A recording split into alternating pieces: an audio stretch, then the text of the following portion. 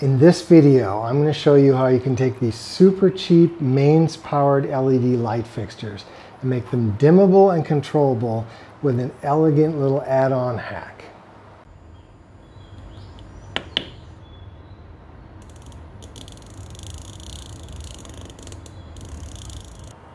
These LED lighting fixtures are just ridiculously cheap. I think I paid $12 for this.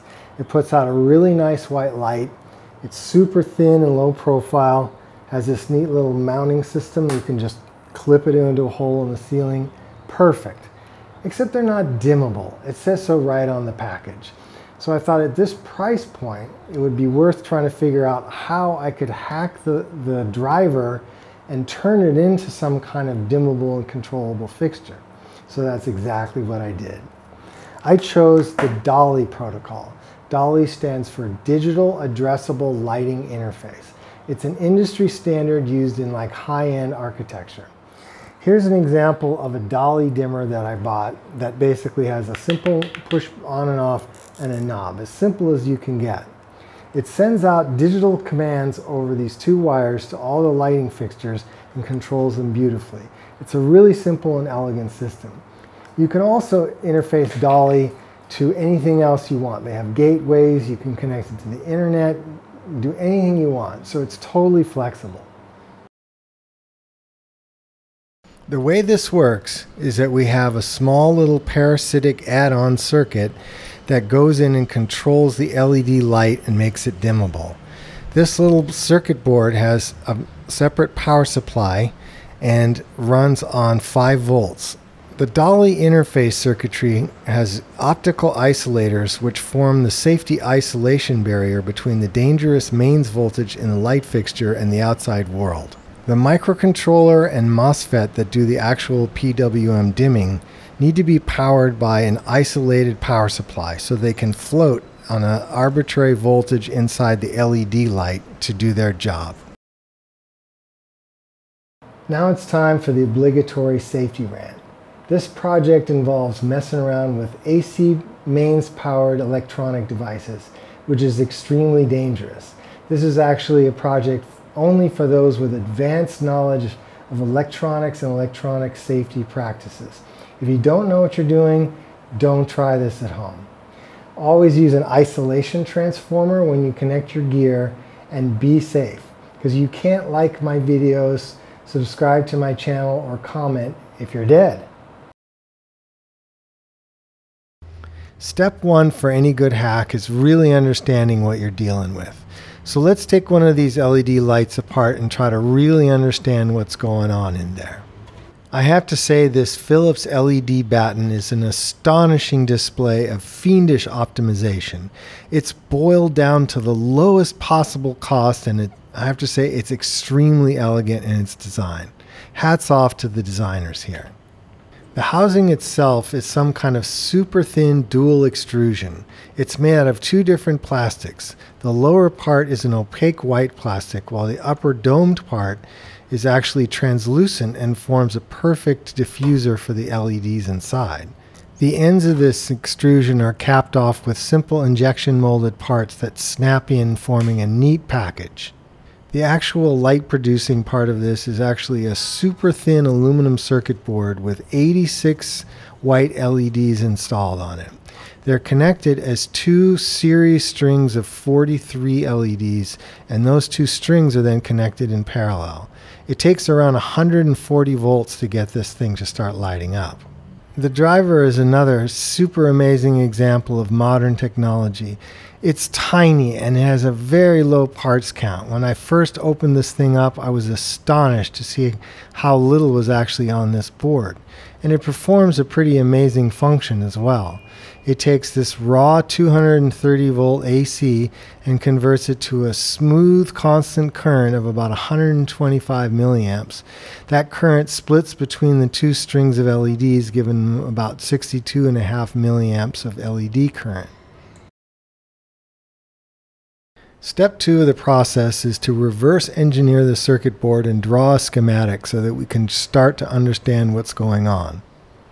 If you're really lucky, you can use your microscope and read the numbers on the chips And using Google, you can find the data sheets and figure out exactly what they are. They're not the easiest things in the world to find, but if you do a bit of sleuthing, it can be done. In this case, we find that it's a Kiwi Instruments KP1050, which is a non-isolated quasi-resonant buck LED power switch. Now this little three-terminal miracle does a lot of stuff. Let's break the circuit down to its simplest conceptual elements and analyze how it works. Here I've stripped the circuit down to its five core elements for easier analysis. We've got a voltage source, a switch, a diode, a stack of series connected LEDs, and an inductor. With the switch open, not much is going to happen as there is no path for current to flow. When we close the switch, we now have a current path through the series connected LEDs and the inductor. As long as the voltage is higher than the forward drop of all the LEDs combined, the current will start to rise in a linear ramp.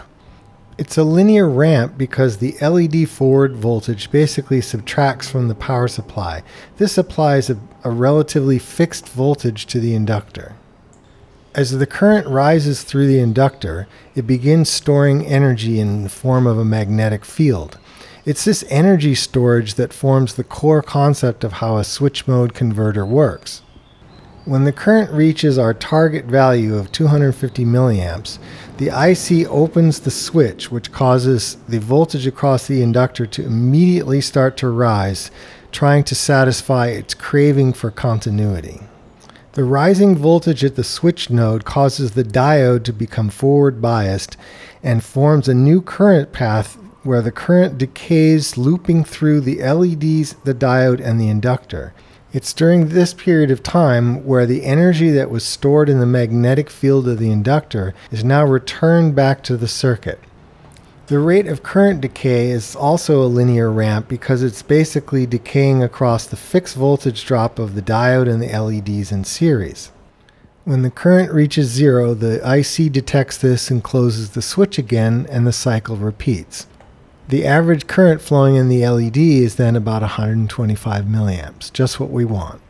The real magic of this process is that there's very little power lost. The difference in voltage between the incoming mains and the LEDs is simply made up by the inductor.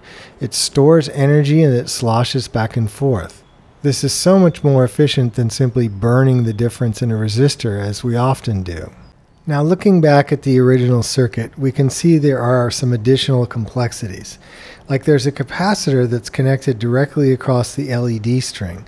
This capacitor serves to smooth out the current pulses to a more even DC level. It has a bleeder resistor connected across it to bleed off the charge when you pull the plug. No electric shocks, please. Looking back at the input section, we have a rectifier bridge, which rectifies the AC into pulsating DC, two capacitors and an inductor that form an energy storage and filtering network. It's a low pass filter that prevents noise from radiating back out onto the AC line. The IC has just two extra components connected to it a pair of sense resistors, which sets the switching threshold for the peak current, and a single capacitor that filters the VDD supply, which is about 5.6 volts. And that's really all there is. Now that we have insight into how this works, how do we hack it? Well, what we want to do basically is control the amount of energy that makes it to the LEDs. We need to do this without disturbing the current regulator too much, so it's all smooth and happy. What we can do is add an additional switch that provides a shunt path that makes the current flow around the LEDs and not through them. We can then pulse width modulate the switch to control the brightness of the LEDs very effectively. But wait, you ask, why don't we just cut the power to the whole thing? Wouldn't that be simpler? Well, the problem is that if we do that, the current regulator is going to go to sleep. Its power supply is going to be removed and it will then have to reset. And that's not a process that happens instantaneously. We need to keep this current regulator running normally so that there are no glitches or flickering involved in the switching process. If we effectively short out the LEDs, the current recirculation path becomes basically the switch and the diode. The inductor now sees a very low voltage when it's recirculating, and this causes the decay time to become very, very long. This lowers the entire effective operating frequency of the whole thing. The incoming power drops dramatically as it only conducts for a very small portion of each cycle. It basically makes it dormant looking back at our original circuit here, we can see that just shorting the LEDs is not an option for us. If we did that, it would also short the capacitor across the LEDs, and that would result in a destructive current spike that would kill our switch. So what we need to do is add an additional diode that isolates the LEDs and the capacitor from the current regulating circuit. This way we can basically short out the current regulator and the LEDs just coast along on that capacitor. This new diode allows us to smoothly commutate the current between the LED stack and its capacitor and our shunting switch. PWM is now possible. This scheme of shorting the LED with a MOSFET using PWM works great, except for one little nasty problem. If we happen to fire the PWM pulse at exactly the same time that the inductor current is reaching zero, the current regulator cannot detect that the current went to zero and it does not restart the cycle. This causes a nasty glitch that manifests as flickering LEDs, which is the absolute worst possible thing that can happen. The fix for this problem involves synchronizing the application of the PWM pulse with the current regulator cycle. We want to ensure that the gate pulse is never activated when the current is zero. So if we use the voltage waveform across the inductor to clock a synchronizer, we can make sure that the PWM pulse is only applied when the inductor current is at its maximum. This prevents that glitch from happening entirely. One little side problem with this is that at really low levels of duty cycle, it makes the dimming rather granular. So the workaround for this is to make this synchronization optional. So we turn the synchronization off when we have a duty cycle that is below 50% and turn it on when the duty cycle is above 50%. When the duty cycle is below 50%, the current regulator is shunted away from the LEDs for long enough that even if it glitches, it'll just reset on its own. It times out. So that glitch is basically invisible. This solution requires a flip-flop and an AND gate. I'm completely loath to add two more IC packages to my design just to fix this little problem. There's gotta be a better way. After scouring the microcontroller datasheet for a while, I discover that the comparator module has a flip-flop for pulse synchronization, exactly what I want. I feed the PWM signal back into the comparator module and use the timer 1 clock input to synchronize it there's a bit in a register that allows you to turn the synchronizer on or off, so now I can control it in software. Problem solved.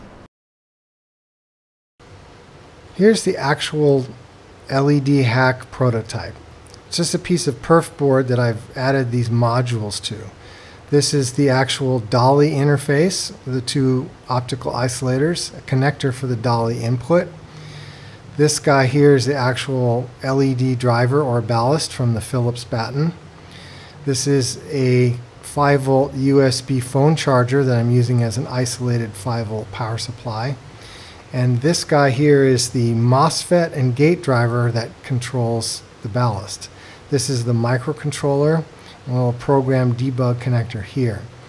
There's really only three wires that connect between these two things that comprise the hack. We have the ground, which is the blue. The orange wire is the drain, and the white wire is the sync. Both the driver ballast and the 5 volt power supply get their mains voltage from these two terminals here. That's where the power goes in. And you can see I've added the extra diode that basically just goes right there. I cut a trace and solder that diode in there, and that takes care of that modification.